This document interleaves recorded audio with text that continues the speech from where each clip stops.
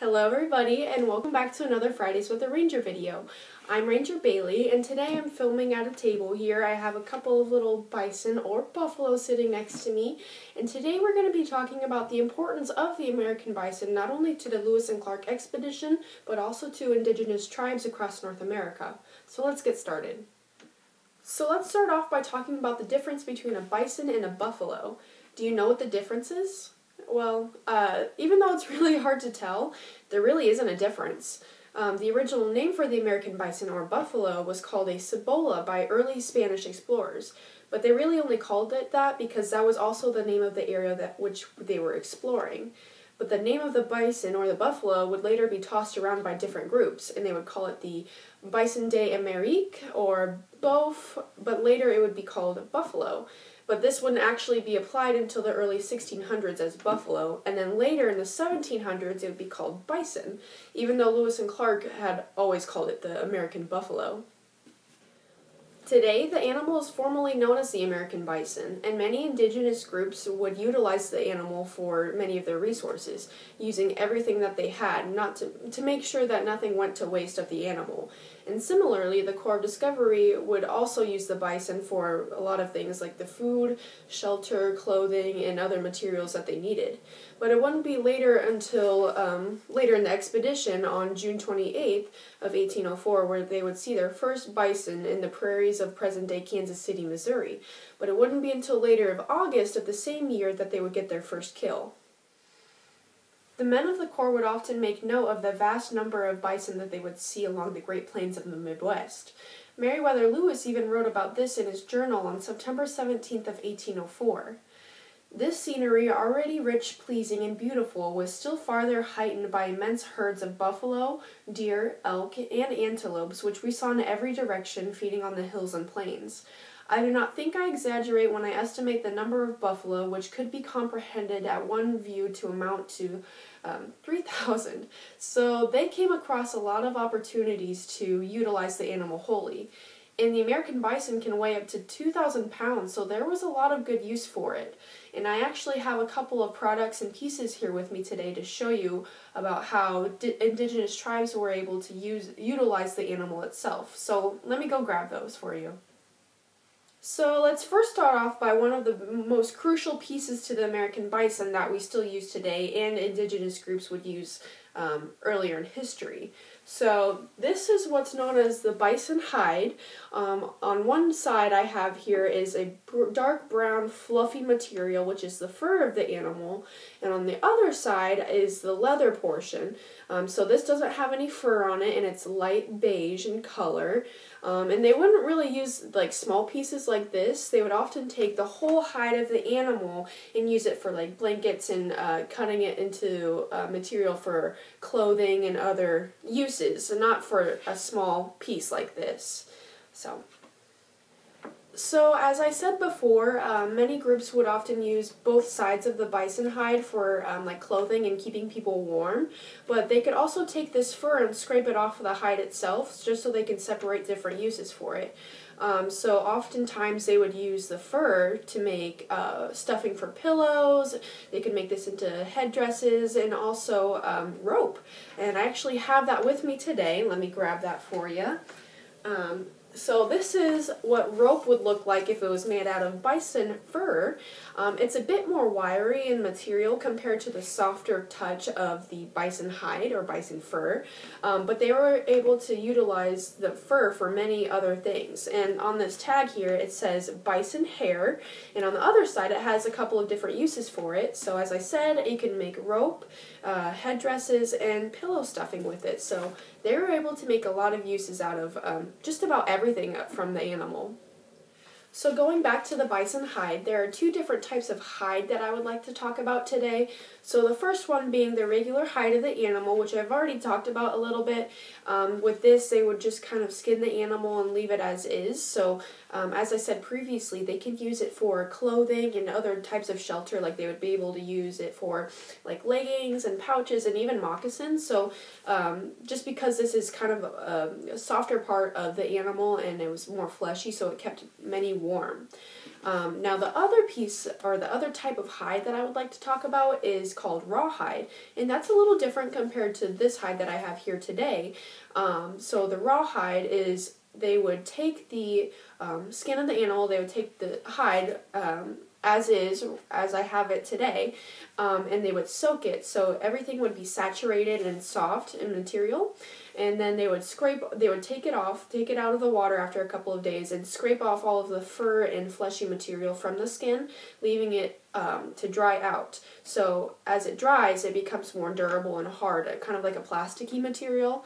Um, and with that they were able to use more durable tools. So they were able to, they were able to make like containers um, for like food clothing and even like medicine bags. And what's even great about this is that they're able to use it for ceremonial purposes as well such as like um, different different drums, rattles, and other important ceremonial tools as well. So it's it was very great for many uses.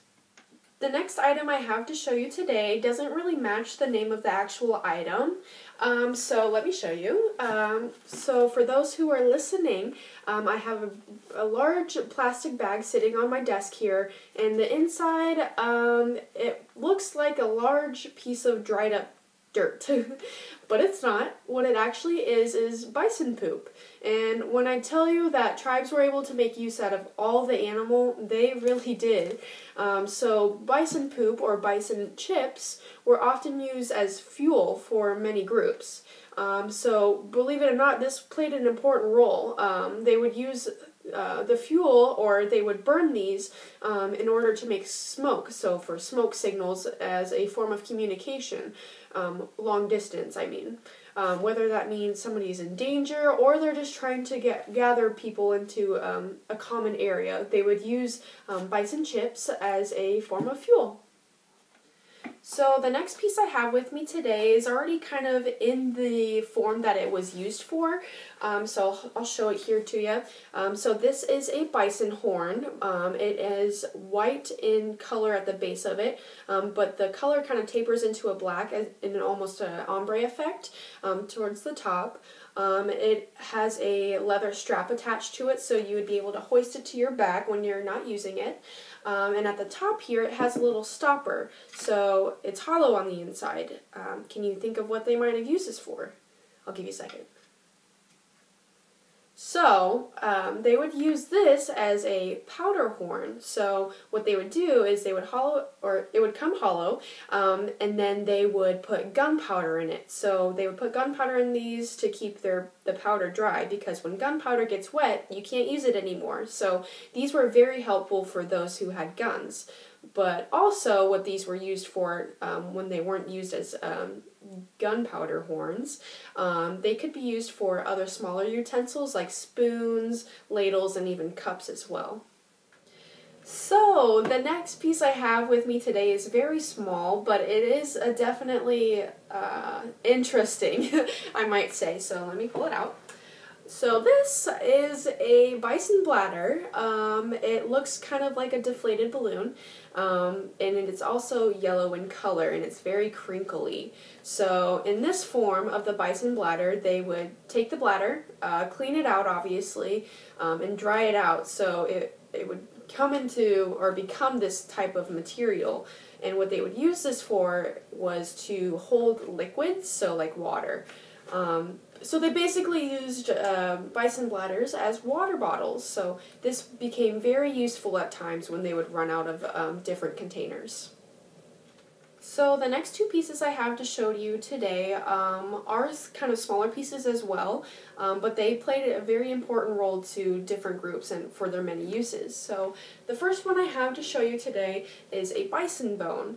Um, now I'm not exactly sure what specific part of the skeleton that this is or that this came from. Um, but in, as a regular bone, they would use these to make um, war clubs or shovels, and even awls, which is a pointed tool that they would use for leatherworking. So I'm, I'm assuming they would break pieces off and they would become very pointed at, at the end, and so they would be able to pierce different holes for their leatherworking. Now the other piece I have is a bison bone. So this is a very long piece of um, bone for the skeleton. Um, so they would use this to make arrowheads and scrapers. So as I talked about before, um, with the hide, they would use this once the once the hide is um, submerged in water for a couple days. So the fur is soaked and everything. They would take the scraper and scrape off that excess uh, flesh and other materials to make rawhide. So um, these two types of bones were very helpful for different groups. So this last piece I have to show you today um, is quite possibly my favorite piece, or piece of a bison to show you. Um, I saved it for the best for last, just for you guys, um, so I might as well just show it. Um, so this guy is a bison stomach. Um, for those listening, um, it is very large in size. Um, I actually have to hold it with both of my hands. Um, in color, it is a light brown, kind of a beigey color, and it also similarly looks like the bison bladder because it's like a deflated balloon as well, but it's dried out, so it's very sturdy. Um, so the bison stomach had four has four chambers. Um, the first one being the largest and what um, tribes would often use it for, mainly. Um, so they would take out the contents of the inside of the bison stomach, kind of like the bile, and they oftentimes would use it for um, medicine. Um, they thought it would be able to treat uh, different types of skin diseases and also frostbite too. So they thought this was very helpful um, for medicinal purposes. But what's also great about this is that it's sturdy enough and strong enough to hold different types of soup. So like um, different containers for liquids as well, just like the bladder too. Um, so just because this was sturdy enough, they were able to feed a lot of people and just keep the contents inside um, warm and sturdy enough.